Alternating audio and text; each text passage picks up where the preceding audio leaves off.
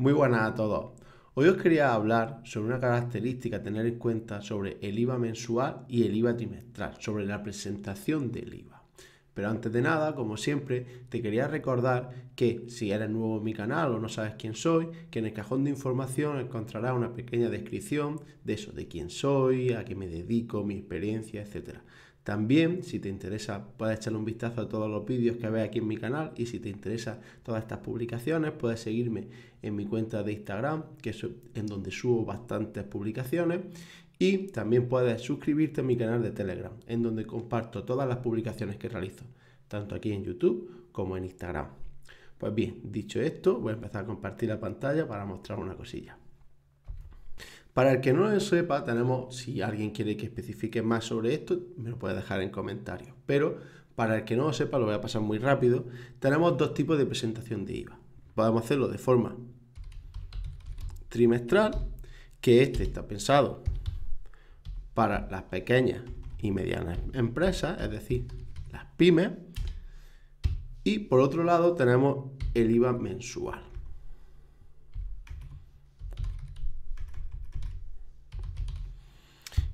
Este está pensado para grandes empresas.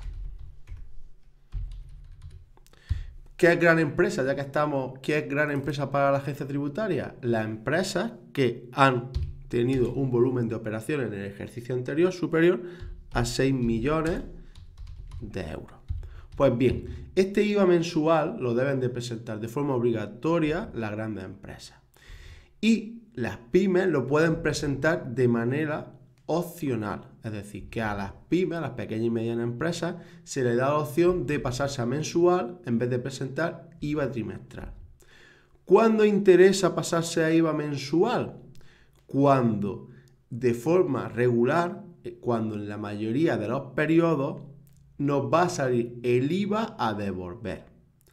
Porque cuando yo estoy en IVA trimestral, si hasta que no termina el ejercicio entero, aunque me vaya saliendo a devolver todos los periodos, hasta que no termine, lo único que puedo hacer es compensar el IVA. No puedo pedir la devolución del IVA. Es decir, me tengo que esperar a que termine el ejercicio completo para pedir esta devolución. Entonces, si yo sé que la mayoría de los meses me va a salir a devolver el IVA, lo que me interesa, como digo, es pasarme a este IVA mensual, porque de esta forma sí se va haciendo la devolución periodo tras periodo. No exactamente quizá, tarda un poco la agencia tributaria, pero sí que a lo mejor el IVA de enero lo voy a tener en marzo o una cosa así aproximadamente, dependiendo de lo rápida que quiera ser la agencia tributaria. Sí que es verdad que una vez que me pase a IVA mensual, voy a tener que voy a tener una serie de obligaciones. También voy a tener una serie de modelos que no voy a tener que presentar. Pero además de no tener que presentar modelos, también tengo una obligación que no voy a entrar ahora en detalle. Quien quiera más detalle me lo puede dejar también en comentarios y preparo un vídeo. Esta, una de las obligaciones que tiene es presentar el sí. Esto quiere decir que tengo que presentar a la agencia tributaria todas las facturas, tanto de compras como de ventas, en cuatro días. Ya digo, no quiero entrar mucho en detalle en esto. Si os interesa este tema, me lo podéis dejar en comentarios y preparo un vídeo. Pero sobre todo lo que en este vídeo quería comentaros era eso. Cuando a las pymes le interesa pasarse a este IVA mensual. Solo para terminar, para terminar este vídeo, quería comentaros que en el caso de yo querer pasarme a IVA mensual, lo que tendré que hacer es pedir esta, este paso de IVA trimestral a mensual rellenando el modelo 036. ¿Vale? Este es el modelo que yo necesitaré rellenar para pasarme a este IVA mensual.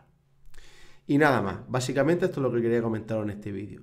Como siempre, si te, ha resultado interesante esta información, te agradecería que me dejes un me gusta, que compartas esta información con cualquier persona que creas que le pueda resultar interesante y que te suscribas a mi canal si no estás suscrito. Un saludo a todos.